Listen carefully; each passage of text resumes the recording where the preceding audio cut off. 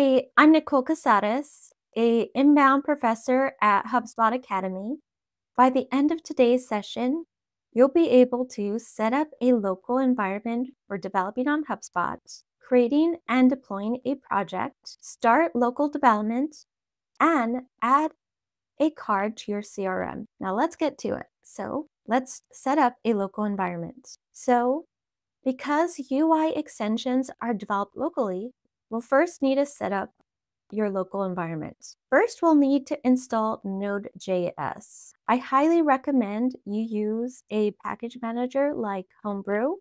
This will really help prevent any issues and allow you to have different versions in different parts of your machine. So I'm going to type out brew install node and I want version 18 for this. Now that we have node installed, let's navigate to the directory where you'll be storing your project app and extension files. So from here, I'm going to list what's in my current directory by typing out ls. From here, I want to move into my directory by putting cd space desktop and then alt s. And I want to move into my dev projects. So I'm going to put cd space dev dash projects. I'm going to make sure that I have the correct version of Node by doing node dash v because you can have different versions of Node in different parts of your computer.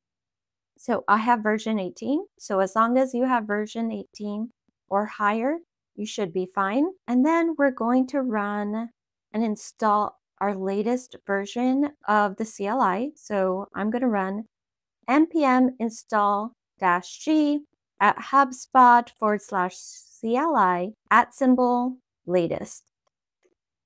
Okay, next I'm going to run hs init. Okay, Note that you only have to use HS init the first time. Once it is installed and initiated into your computer, you can run HS auth, and that will allow you to see all the projects you have. And if you have multiple accounts. So now it is asking me if I want to copy my personal access key. I'm going to put in Y for yes. From here, a new browser is going to show up. I'm going to go into the account where I want to work and click continue with this account. From here in the middle of the panel, I'm going to click show and then click copy, navigate back to my Visual Studio Code and paste in my personal access key. From here, I get to enter the name that I will be referencing this account. So I want to put labs dash account, press enter. Now let's create and deploy a project. So before we create and deploy a project, I want you to be aware of two different types of apps. So we have a private app, and this is built for one HubSpot portal. Private apps are restricted from using some APIs. A public app is an app that is designed to be used across multiple HubSpot portals. Public apps have access to an increased set of APIs. So for example, you can use configure webhooks and use timeline events. Now let's create a new project. So in terminal, I'm going to click project create. Now it wants to give me, me to give it a project name. I'm going to say labs dash project and press enter. From here, it wants me to enter the folder location. I'm going to press enter because I'm okay where it is. From here, I need to select a template. For this guide, I'm going to select CRM project start, and I'm going to select public apps or private apps. So we have CRM getting started with private apps, public labs, and then create an empty project, which means no template. If this is your first time or if you're still learning, I highly recommend using the first two templates. So since I'm already at this first one, I'm going to press enter. And then we want to navigate into this new directory that we created. So I'm going to cd for change directory and lab, did I name it? Perfect. From here, I'm going to run npm install. Perfect. Now let's start local development. So before we move on to that, I want you familiar with a few different types of accounts. So you have a developer account.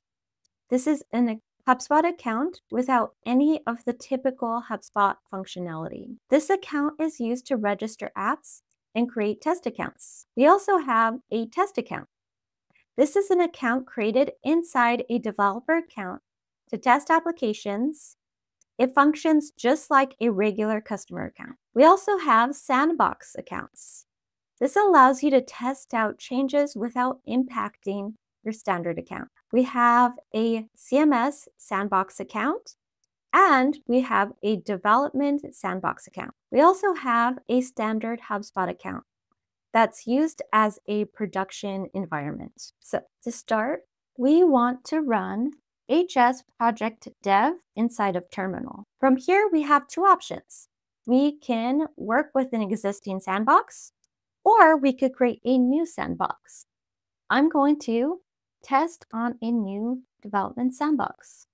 So pressing enter, and I'm going to name this labs dash sandbox. Once this is done, if you created an existing, if you're working with an existing sandbox account, you would have selected it and pressed enter. However, we selected and chose test on new sandbox account.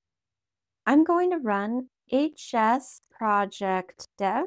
Now I'm going to upload those changes by first stopping my local development server with the command Q and then redoing HS project dev. Once we have uploaded our project, we can now open our Explorer and search for our project. So I'm going to go to desktop, dev projects, lab project, and open. Now within your project, you should see an SRC with app functions, extensions, and webhooks. Wonderful. Now let's add a card to your CRM view. We're going to open up our HubSpot account. From here, we are going to go to the left sidebar and click CRM. Under CRM, we're going to click Contacts. Once we have our contacts open, select one of your contacts. I'm going to choose Lorelei Gilmore. So at the top of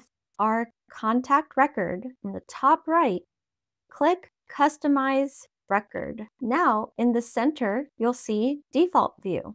Click Default View. Now, at the top, you'll see a plus symbol. Click on the plus icon. We get to choose our tab name. I'm going to call this Labs and click Done. Now we can add a cards, click Apps, and now you'll see an example card. This is the card you created during this process. You're going to go top right, click the X symbol, then click Save and Exit. And now go back to the left sidebar, go to CRM, then click Contacts. I'm going to go back to Lorelei Gilmore, click on Labs, and you see your extension. And there you have it. From here, you can build out pretty much anything you want. Now, thank you for watching. If you want to follow me, follow me on LinkedIn. You can find me under Nicole Caseras, or you can follow this QR code. Some resources. If you want to learn more about integrating with HubSpot and developing on HubSpot, you could do integrating with HubSpot One Foundations, getting your app certified on the marketplace, developing scalable HubSpot solutions, and then for documentation, Go to UI Extensions Quick, Quick Start Guide, Developer Project CLI Commands, and Private versus Public Apps. Thank you for watching.